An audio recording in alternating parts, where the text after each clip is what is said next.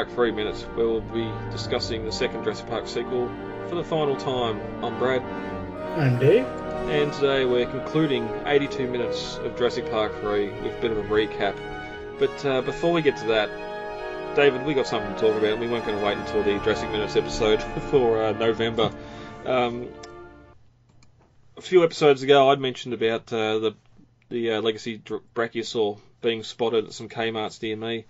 I was lucky enough to go out two days later and pick one up. David, you uh, you hadn't found one at any of your WalMarts. You had to go online to find one. Yeah, I did. Unfortunately, um, they're all sold out by me in store, but they were uh, a couple a couple of the areas kind of like dotting around me. They're kind of like too far for me to really want to bother to go. Um, had them, got them in stock, and so I ordered them online yesterday, actually around noon on my lunch break at work, and just got it in today. So that was like really fast. Nice.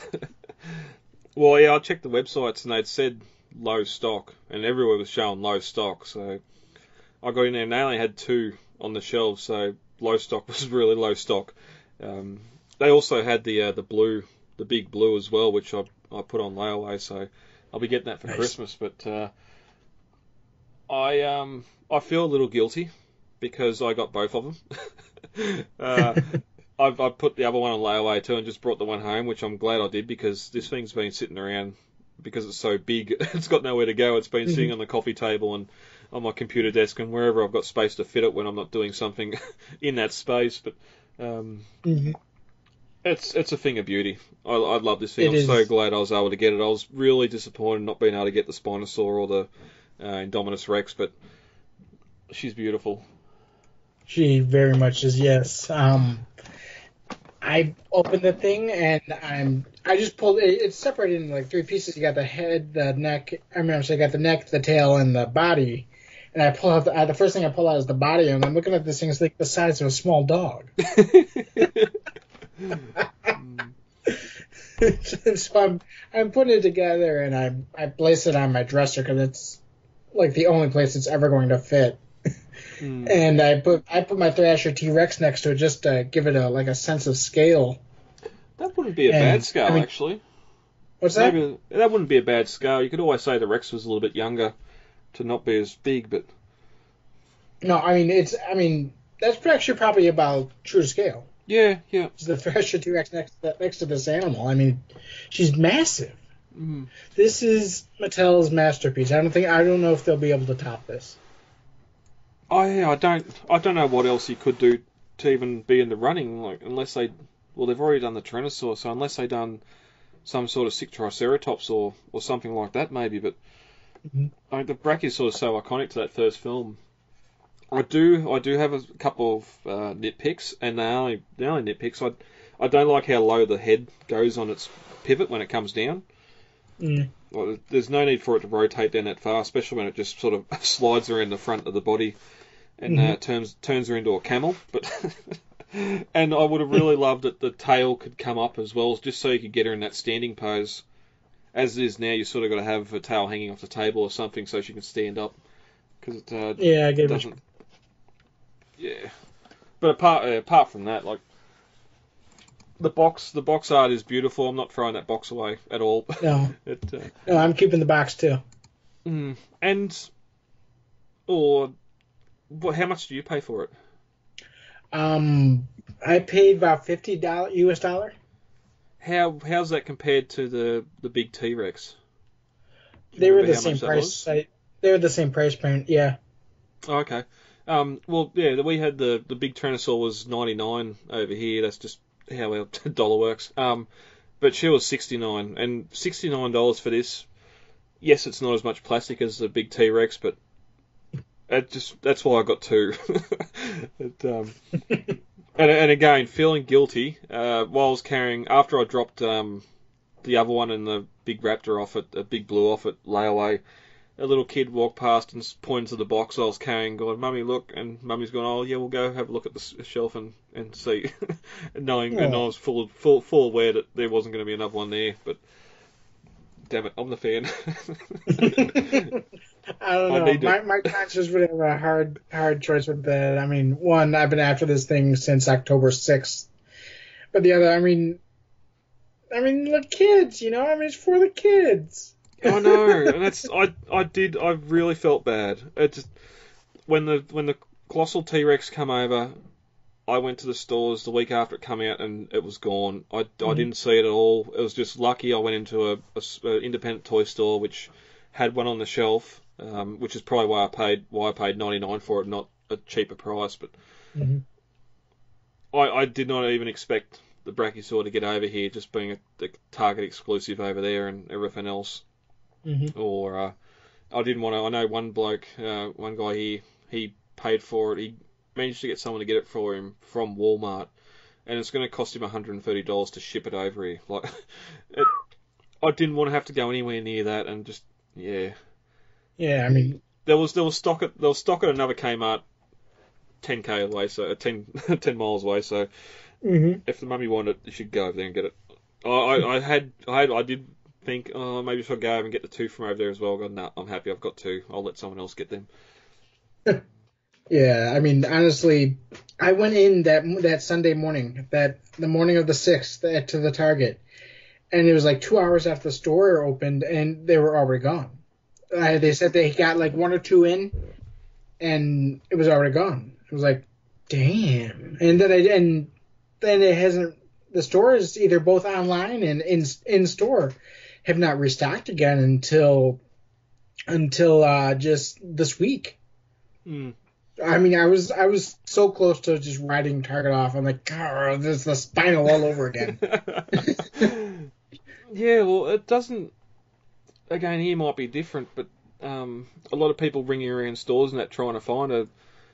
A lot of stores are only getting. It seems like they only the most I, I heard was there was going to be four on shelves. Um, mm-hmm. So it seems to be a real limited limited release, and as soon as uh, a lot of stores went out of stock, there's mm-hmm. nothing mm-hmm. there's nothing there to replenish the stock. There's, if you didn't get it, it's gone. Yeah, that's what I was afraid was going to happen. Yeah. I was like, oh man, this thing's going to go out of stock. It's never going to come back into stock. I'm never going to get it. I'm going to have to end up paying. I'm going to have to end up doing like what I did with the Spinosaurus and paying up the out of the wazoo for it. And like, you know, mm, just no, exactly. already to, already to start writing corporate an angry letter. uh, again, after Spinosaur. uh, I do love I do love the articulated jaw on it too. I do, yeah. That's nice. Mm-hmm. And it's I've I've stood beside the uh, the Horizon model that I got from the original Jurassic Park. That it was um it was cast off the Stan Winston um, mm-hmm. maquette, and this thing is pretty close to it and, mm-hmm. and not just in design, but but height and scale as well. Like, yeah, Mattel have done a fantastic job here with uh, with just the sculpt of the Brachiosaur.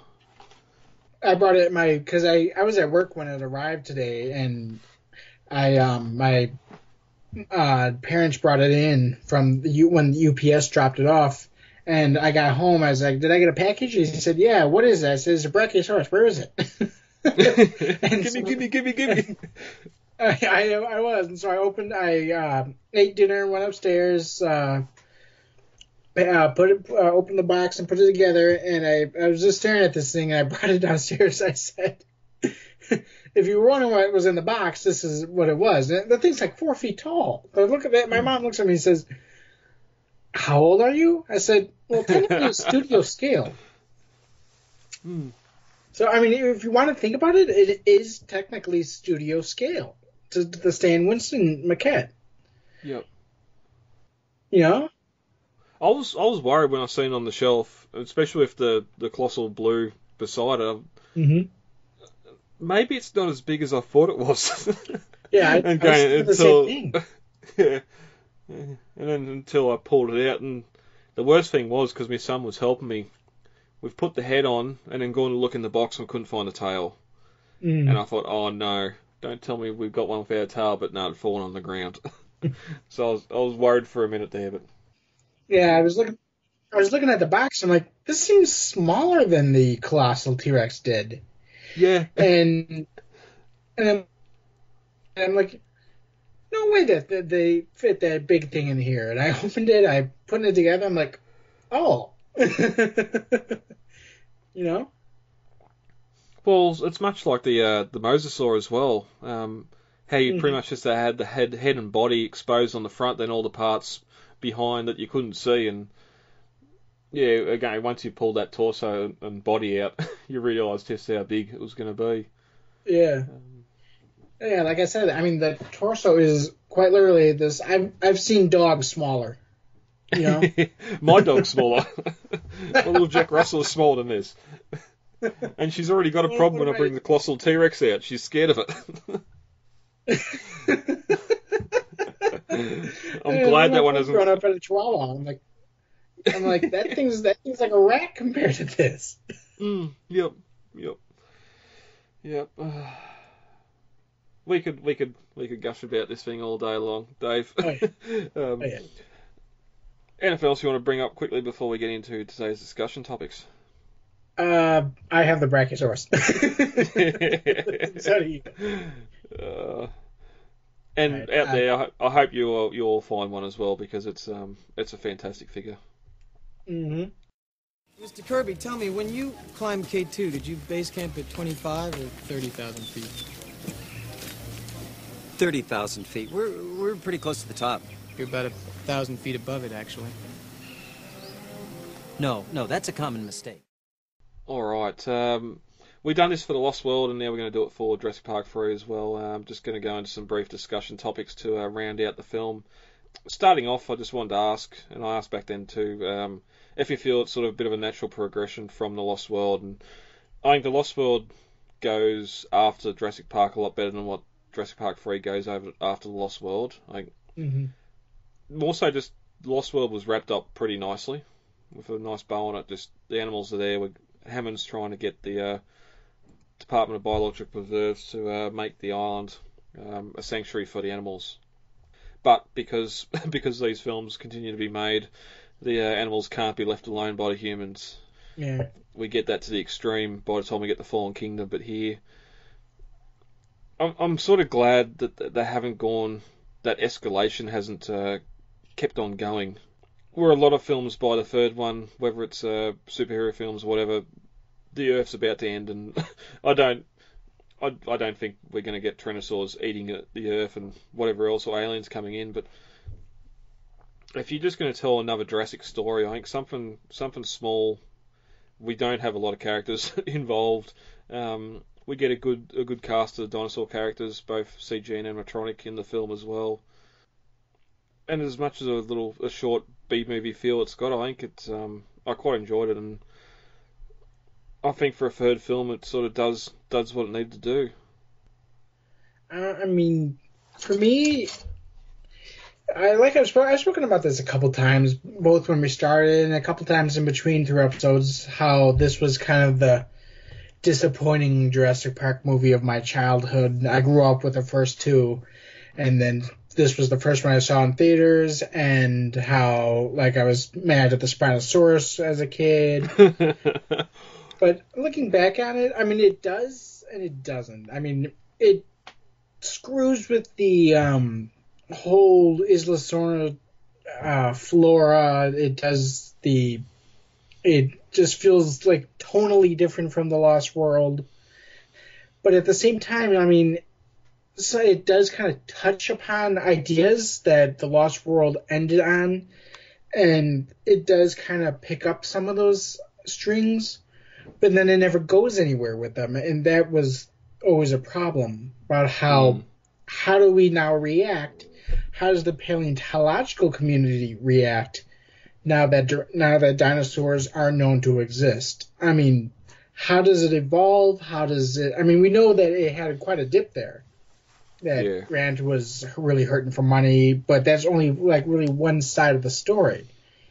We don't know how the paleontologists viewed these dinosaurs, knowing that they had, were bred with uh, frog DNA filling in sequence gaps. We don't know how they felt about how that might affect the authenticity of the dinosaurs' behavioral traits.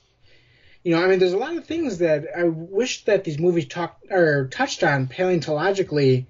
They just they just don't anymore. You know. Hmm. And we could have had some of that at the start of the film when Grant's trying to find his funding.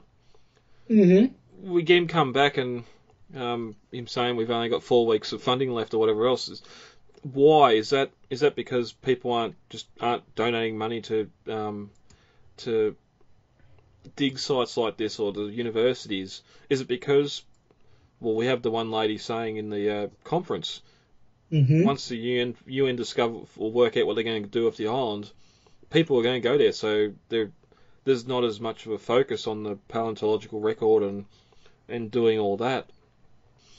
Are there are there sort of uh, famous paleontologists sort of walking Mhm. away from the field and, and lining up and trying to um, uh, not promote um, petition to be allowed on the island to look at the animals? Mm-hmm.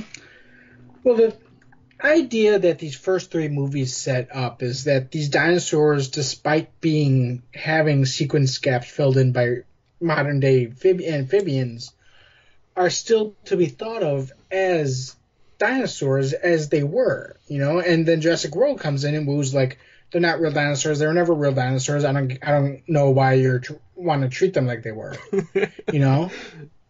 And it's just kind of like a slap in the face, like, wait, so we're not going to pretend that the paleontologists from 1993 to 2001 kind of treated these dinosaurs as real dinosaurs? Mm. You know? There's there's a lot there's a lot those new films slap us in the face for for uh, what come before and and we will get there, but um, mm, it's yeah it's a shame. It's a big shame. Mm-hmm. Even in the new film, it's still not addressed in the new films. No, We don't we don't know what the what the world looks like off new off off Nublar. No. I mean, the the thing about these new films is that, that the stories are almost too contained. They don't have any kind of like I'm not saying like world changing, but at the same time it was kind of career changing for a lot of for even going back as far as the first movie. The the line that was in there, um it looks like we're out of a job, don't you mean extinct? You know? I mean, this changed a lot of things. We saw that in Jurassic World Fallen Kingdom, Zia was a paleo veterinarian, but what does that entail? You know?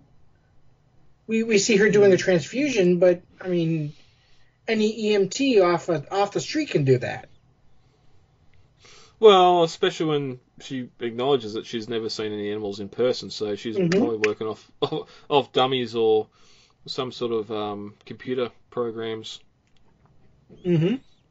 But in saying that too, I'm sure there's I'm sure there's vets that specialise in dogs or or something like that that couldn't go to a zoo and do a transfusion on a lion.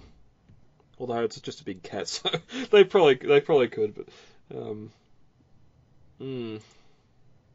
and may, maybe maybe a little bit more time in production before the film started um, might have been able to fill some of those issues. We we have the little drops there of not remembering um, the Spinosaur from InGen's list and Mm-hmm. all those sort of little drops there that hint at a much bigger story, but it's not going to be this film. Yeah.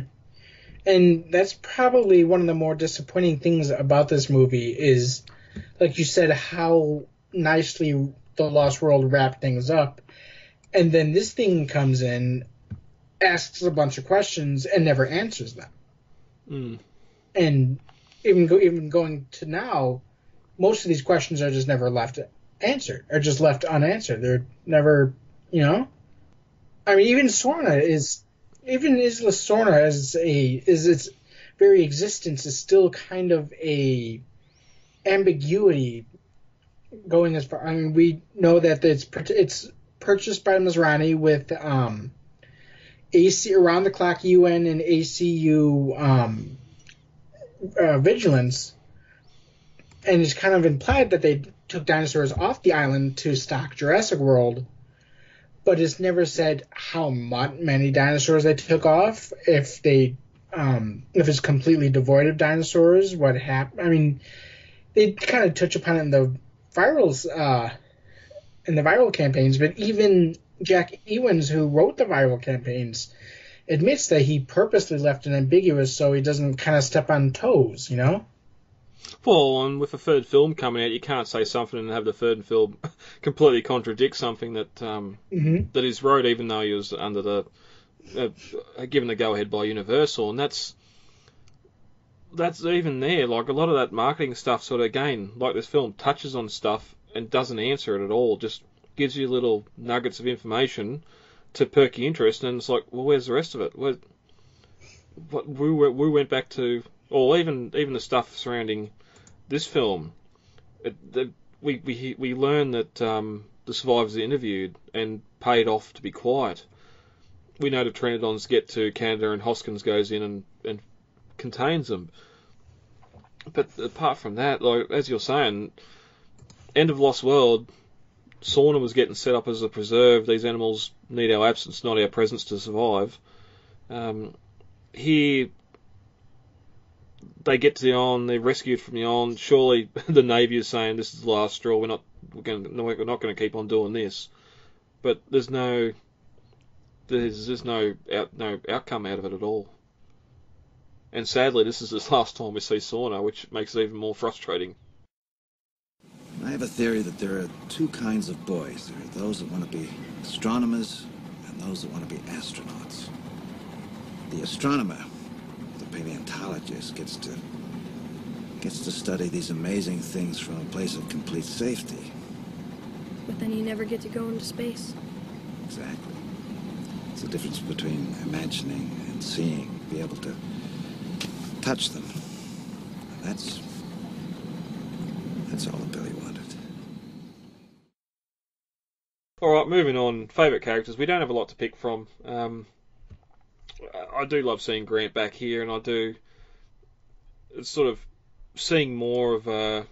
It's not just cranky old Grant. It's we we got that PSD. Um, he doesn't want anything to do with the islands, but is um, sort of roped in voluntarily under under the ruse of being paid money to keep his uh, dig site going, but then uh, gets stranded there and realizes he's doing it all for free. I think the one film, one the one good thing in this film is the fact that they got at least one returning character to come back. If if Grant wasn't here, I think there'd be a different story with uh, the enjoyment of the film. Yeah, I agree. I mean, this this movie would be very. I mean, without Grant, it would be very, almost like B movie level. You know, it would just it Hmm. almost seemed fan fiction and by in on on that kind of level. You know. Yeah, yeah. Well, your uh, your favorite character doesn't even survive the film, so who, who do you pick for your favorite character? I I pick Udesky because I mean, of course, Grant is kind of almost the default. You you love Grant, you you like him in this movie, but I've I, there's not a lot of new characters in this movie that are likable, really. Mm. Cooper's an ass. Amanda's an idiot. Paul's an idiot. Eric's the super kid. Cooper's I don't know. I already mentioned Cooper. Nash is kind of just there. He he's he's not even in, really in the movie for like five minutes. And Billy's an ass. Udesky's Yeah. kind of the only guy who's I mean, you you feel for the guy. He was a booking agent. He's not even supposed to be there, and he's stuck in this situation. And he's just like I mean, plus I I have a really I have a soft spot for Michael Jeter. I think he's a fantastic actor. May he rest in peace. And I think that he did a good job with what he was given. You know. Hmm. Yeah, I think that having the uh, the actor behind the character as well, like I, you said, Paul was useless, but just having uh, William H Macy, some of those moments we picked up on um, during the film where he's trying to get his backpack buckled up and Udesky sort of catches him doing it and he just gives that dull stare and Udesky helps him out. And some of those moments are, uh, moments are great and hmm Oh, it's, even Udesky himself, it's a real shame we didn't get to see him go out and see that cut stuff. Um, Him trying to fight off the Raptors and not just be dead on the ground. hmm Hey, like you said, Paul Kirby. I mean, William H Macy is a great actor, but and he's clearly doing the best he can with what he's being given. like, I mean, the character is written like such a bumbling idiot that I mean, William Macy can do bumbling, but I mean, there's even a point where it's almost kind of condescending to the to the actors. Yeah. Oh, yeah.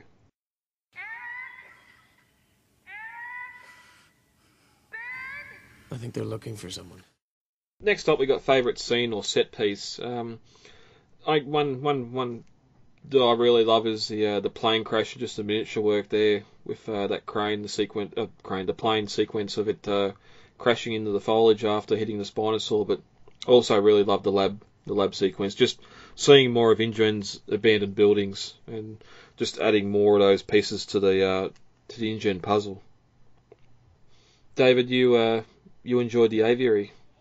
Oh yeah, Aviary has pretty much always been my favorite set and scene in this movie. I mean, they just the way they filled that those sets on for the Aviary, just cutting it and the editing of the scene, just taking all those different set pieces and editing them together is fantastic. Mm. Yep.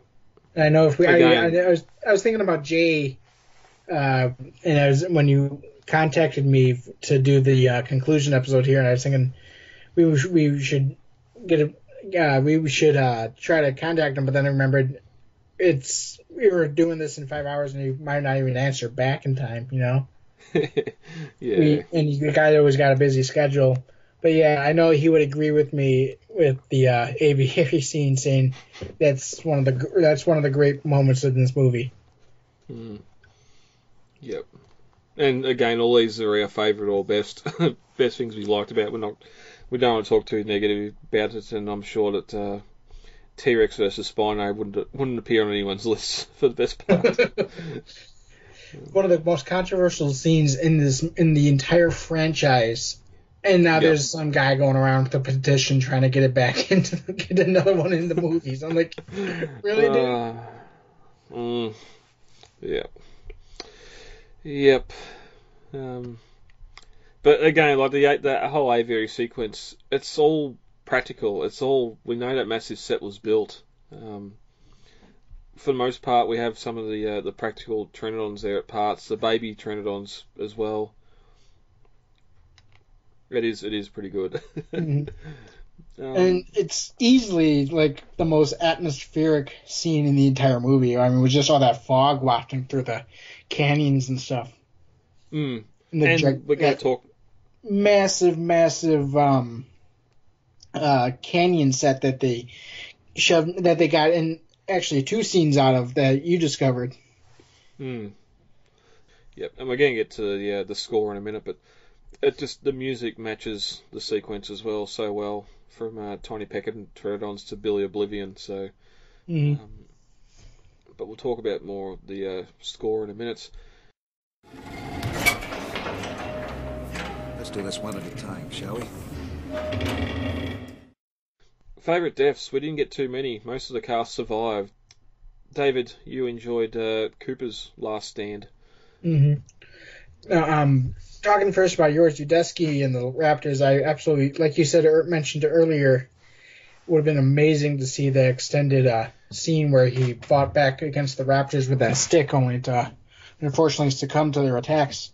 That was Hmm. probably one of my favorite deaths, but because he was my favorite character, I didn't want to mention that one.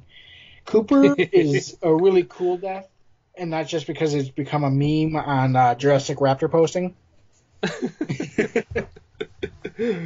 Hmm. But um, I remember that one being when being as a kid. Me and my dad would try to uh, pause the mo- pause the DVD right in the right moment to see the cl- the jaws just about to clamp down on the on the Cooper there. Hmm. I always thought that was really cool how they did that. Yeah, and also too, like we'd heard, heard the gunshots, heard the animal roar. We know it's not a Tyrannosaurus. Grant says it sounds bigger, and it's our real first little introduction to the, uh, the Spinosaurus itself. But just he's obviously injured. He's uh, runs out on that runway, and his only his only chance of survival is being on that plane. And here it is flying up the uh, runway towards him, and you can just see the look of defeat in his face. Oh yeah, I mean uh, that is a great moment of acting, and uh, in that part of the uh, from that actor in that scene, just that utter look of terror in his eyes. I mean, he really does not want to be left behind on that from that plane. no, no. Did you read Malcolm's book? Yeah. So, I, I don't know. I mean, it was kind of preachy, and and too much chaos. Everything's chaos. It seemed like the guy was kind of high on himself. well, that's two things that we have in common. Uh, next up, is there one thing from the script or novel that uh, you wish made it into the final film? We've been talking about the novel and script comparisons the entire time for the uh, the film, and I would have really loved to uh, to see the overnight stay at the lab have that water tanker in the uh, equipment yard behind the lab compound, and then of course seeing more of the uh, the harbour or the, the marina, which you agreed with as well. Yeah. I mean, just the idea of it sounds really cool, and some of the concept art we have for it is looks really cool, and I, I just would have liked to have been able to see that on a movie, you know? Hmm. Yep. The other one I would have liked to see from the script is just Billy staying dead. I feel like his um his not being dead at the end of the movie kind of negates in a way his sacrifice that he made to save Eric, you know? Mm. Well, not only that too, it sort of it um, it takes away what he did. Um, what he did was uh, was bad, and him surviving it at the end isn't. Uh, I'm not really a fan of. Uh, I, yeah, him staying dead. I the the film needed that uh, that moment of uh, Mhm. he, him being killed or taken away by the Pteranodons and and not returning. Yeah. Well, like you said, it almost kind of needs that soul to it, you know. And him returning kind of just like it, it's just kind of negates it. Yeah, it, and then but then for his, his only reason to return is for uh, him to return the hat. it, uh, yeah, Well, what I always heard was that the actor Alessandro uh, Nivola, I think his name is, right? mm. yeah, uh, I think so. He he complained to Joe Johnston about his character dying, and so they just rewrote the ending for him to be in there in the helicopter when he at the end. Yeah, well, as we know from the script, he he was written out of it. So don't uh, don't let your actors dictate how you want to direct your films, directors.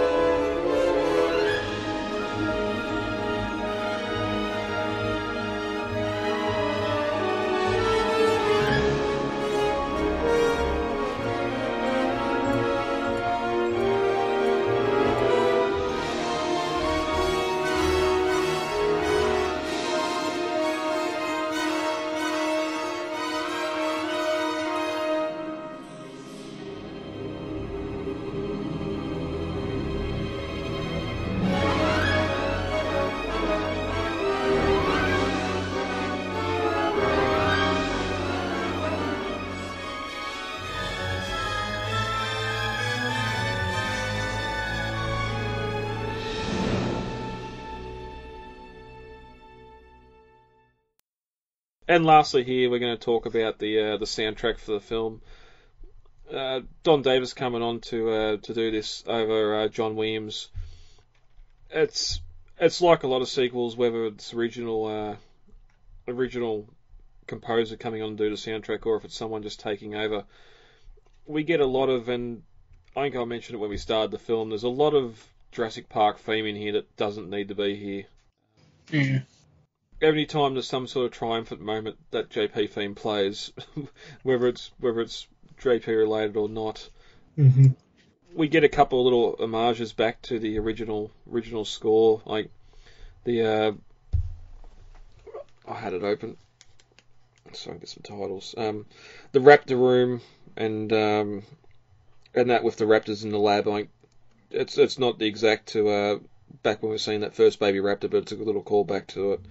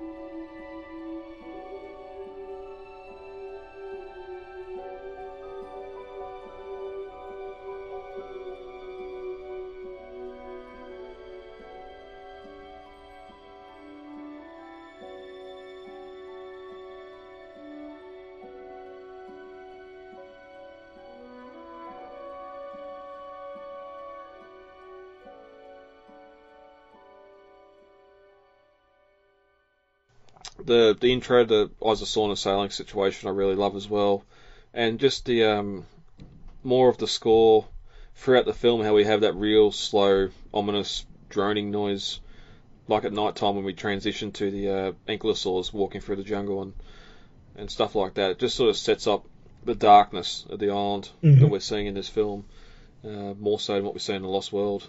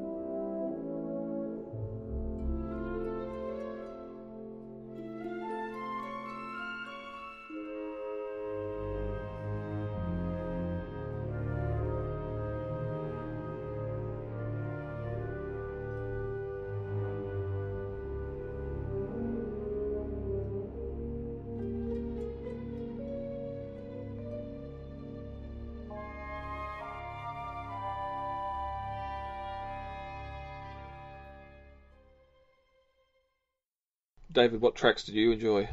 Um, I originally put here the dinosaur flyby, but I mean, you are kind of right. I'm gonna, I'm gonna actually take that back.